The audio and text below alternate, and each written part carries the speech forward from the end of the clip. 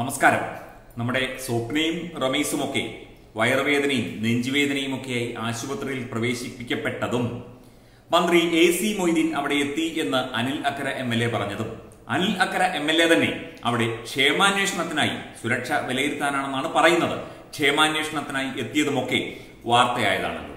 ഒരു മാധ്യമപ്രവർത്തകൻ കഴിഞ്ഞ ദിവസം അനിൽ അക്കരയോട് ചോദിച്ചു താങ്കളെ ആരാണ് ഇതിനെ ചുമതലപ്പെടുത്തിയത്? എന്ന് ചോദിച്ചപ്പോൾ അല്ല എന്റെ മണ്ഡലത്തിൽ എന്തു നടന്നാലും ഞാൻ അന്വേഷിക്കേണ്ടേ എന്നുള്ളതാണ്.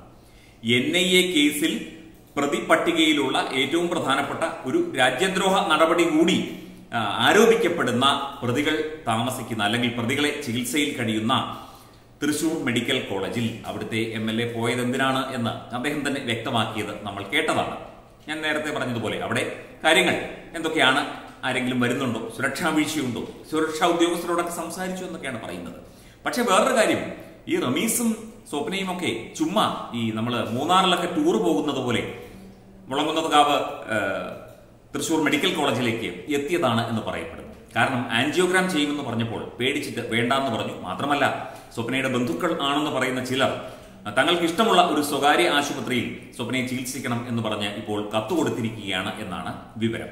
പിന്നെ റമീസിന് വയറുവേദനയും സ്വപ്നയ്ക്ക് നെഞ്ചുവേദനയും ഒരുപോലെ വന്നത് എങ്ങനെ എന്നൊന്നും ചോദിക്കരുത്. അതൊക്കെ തികച്ചും യാദൃച്ഛികം മാത്രം എന്നേ പറയാനുള്ളൂ. എന്തായാലും രണ്ടുപേർക്കും പ്രത്യേകിച്ച് അസുഖമൊന്നുമില്ല എന്നാണ് മനസ്സിലാകുന്നത്. കൃത്യമായി അറിയില്ല. സ്വർണക്കടത്ത് കേസിലെ പ്രതികളായ സ്വപ്ന സുരേഷിന്റെ നെഞ്ചുവേദനയും റമീസിന്റെ വയറിളക്കവും നാടകമാണെന്ന് പൊളിഞ്ഞു എന്നാണ് മാധ്യമങ്ങളിലൊക്കെ വാർത്ത വരുന്നത്. നെഞ്ചുവേദനയുടെ കാരണം കണ്ടെത്താനുള്ള ആൻജിയോഗ്രാം പരിശോധന നടത്തുന്നതിന് തൊട്ടു മുൻപ് തന്റെ നെഞ്ചുവേദന മാറിയെന്നും ഇനി പരിശോധന വേണ്ടെന്നും സ്വപ്ന അറിയിക്കുകയായിരുന്നു. ആൻജിയോഗ്രാമിന് സമ്മതപത്രം എഴുതി വാങ്ങാനെത്തിയ മെഡിക്കൽ സംഘത്തോട് നെഞ്ചുവേദന മാറി പരിശോധന പിന്നീടാകാം എന്ന് പറഞ്ഞു.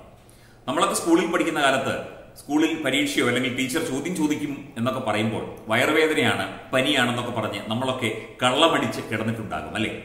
ഞാനൊക്കെ കിടന്നിട്ടുണ്ട്. വയറുവേദനയാണെന്ന് പറഞ്ഞ്. അന്നേരം നമ്മുടെ മാതാപിതാക്കൾ പറയും എന്നാൽ ആശുപത്രിയിൽ പോകാം അല്ലെങ്കിൽ ഇഞ്ചക്ഷൻ എടുക്കാം എന്നൊക്കെ പറയും. അപ്പോൾ എന്താണ്? ഠും എന്നങ്ങ് വയറുവേദന മാറും. അതുപോലെയാണ്. അല്ല ഈ തൃശ്ശൂർ മെഡിക്കൽ കോളേജ് നഴ്സറി സ്കൂളും സ്വപ്നയൊക്കെ നഴ്സറി കുട്ടികളുമാണോ എന്ന് പൊതുജനം സംശയിച്ചു പോകുന്നു ഇതൊക്കെ കാണുമ്പോൾ. ആൻജിയോഗ്രാം പരിശോധനയ്ക്ക് ചെന്നപ്പോഴേക്കും നെഞ്ചുവേദനയൊക്കെ മാറി. ഞാൻ നല്ല പെർഫെക്റ്റ് ആയി ഓക്കെ. ഇനി നമുക്ക് പോകാം. ഇത് ഇതൊക്കെ എന്ത് നാടകമാണ്? ഇതൊക്കെ N I A national investigation agency എന്ന സ്ഥാപനത്തിന്റെ അന്വേഷണമാണ് നടക്കുന്നത്. ഇത് പിള്ളേരുകളിയല്ല എന്നുള്ള കാര്യം മനസ്സിലാക്കാനുള്ള ഒരു പ്രായോഗിക ബുദ്ധി പോലും ഈ സ്വപ്ന സുരേഷിനും കൂട്ടർക്കും ഇല്ലേ? ഇത്രയും ഇത്രയും കോമൺ സെൻസ് ഇല്ലാത്തവരാണോ ഇത്രയും കാലം ഈ കള്ളക്കടത്തും സ്വർണക്കടത്തും ഒക്കെ നടത്തി വന്നിരുന്നത് എന്ന് ആലോചിക്കുമ്പോൾ സംശയം ഏതൊക്കെ തരത്തിലായിരിക്കും സംശയം ഉയരുക? ഈ മണ്ടത്തരങ്ങളും പൊട്ടത്തരങ്ങളും കാണിക്കുമ്പോൾ വലിയൊരു കേസിലെ പ്രതിയല്ലേ? അതിന്റെ ഒരു പ്രിവിലേജെങ്കിലും നിങ്ങൾ കാണിക്കണ്ടേ എന്ന് സാധാരണക്കാരൻ ചോദിച്ചു പോവുകയാണ്. സ്വപ്നയെ രണ്ടാമതും ആശുപത്രിയിൽ എത്തിച്ചതിന് പിന്നാലെ ഇ സി ജി ഇക്കോ പരിശോധനകൾ നടത്തി. അതിൽ കാര്യമായ പ്രശ്നങ്ങളൊന്നും കണ്ടില്ല. ഡിസ്ചാർജ് ചെയ്യാൻ ഒരുങ്ങിയ സമയത്താണ് നെഞ്ചുവേദനയാണെന്ന് പറയുന്നത്. ഇതോടെയാണ് ആൻജിയോഗ്രാം നിർദ്ദേശം നൽകിയത്. അതുപോലെ റമീസിന് എൻഡോസ്കോപ്പി പരിശോധനയിൽ വയറുവേദനയാണെന്നാണ് പറഞ്ഞത്. അപ്പോൾ എൻഡോസ്കോപ്പി പരിശോധനയിൽ ഒരു രോഗലക്ഷണവും ഒരു രോഗത്തിന്റെ സൂചന പോലും കണ്ടില്ല. മെഡിക്കൽ ബോർഡ് വീണ്ടും യോഗം ചേർന്ന് ഇന്നലെ വൈകിട്ടോടെയാണ് ഇരുവരെയും ജയിലിലേക്ക് തിരികെ അയച്ചത്.